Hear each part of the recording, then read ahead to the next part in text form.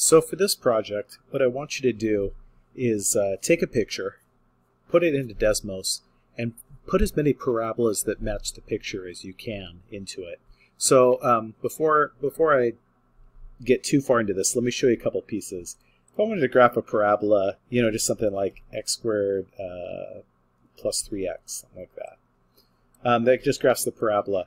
It gives me the whole parabola. If I just want part of the parabola, I can use like these uh, curly Q brackets and I can limit my x values. So I'm just going to have x go from negative 2 to, to 1. So I'm going to say negative 2 is less than x, Oops, is less than x. And so notice what that does is that truncates my, um, my parabola where x is negative 2. And if I let it run to, to 1 is less than 1, it goes from there to there. And then I get part of a parabola on there. And you know that you can make this parabola fatter by, uh, you know, multiplying by like 0.5, something like that. Let me take that off. Uh, out here, you know, 0.3 makes it even wider. Of course, it moves it around. You're going to have to move it then. And I could move this up by oh, adding 4 to it, that sort of thing. So you can mess with these parameters in here to kind of reshape your parabola to try and get it to the spot that you want.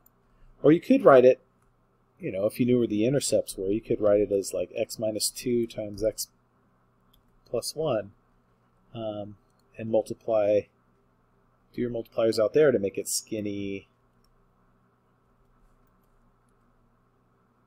or fatter or that sort of thing. So what I want you to do is uh, know how to do those parabolas, um, but really I want you to uh, put a picture in so it can be a picture of yourself. It could be something. Uh, it could be something. Anything you have. So if you just have any any picture, you can literally just grab it and drop it in. And notice that uh, the picture just drops in. You have a couple things here. You can you can move it center. You can just drag it and put it where you want it if you don't like where it's at. That sort of thing. So I might want to put it there.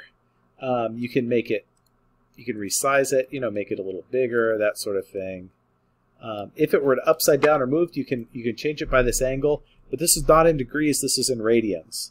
So if I wanted to rotate at 180 degrees, I'd actually have to use pi, right? If I wanted to rotate, rotate at 90 degrees, I'd say pi over 2. Um, that sort of thing. But I want to rotate at 0 degrees, it's perfect. But notice what I see in here is like, I see this nice parabola right here. And I'm just going to try and find as many parabolas picture as I can and kind of fit them to them. So maybe if I had like a negative x squared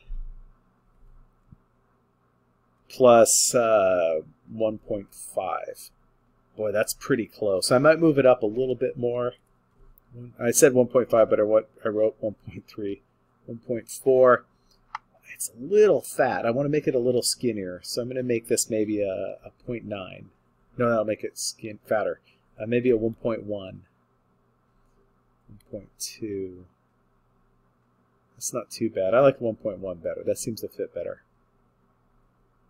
And then if I wanted to run it from, um, see it's going from like here to here. I want it to cut off about here. So I'll, I think I'll just run it from negative 1 to 1. Uh, negative 1 is less than x, which is less than 1. Uh, that sort of thing. And you can keep putting them in. And notice you can hide the picture. So once you get enough of them on here, if you wanted to hide the picture, kind of see what's what's traced out on it, that sort of thing. And if you want to change the color, go into settings, click on that, and you can you know make it a color that's easier to see. I started a little bit with a different picture. I just put in these two parabolas right here on that. Um, but I want you to be a picture of yourself, picture of anything that you want. Put as many parabolas as it, it on it as you can. This is really practicing about what these parameters do for a, for a parabola. All right, hey, have fun with this.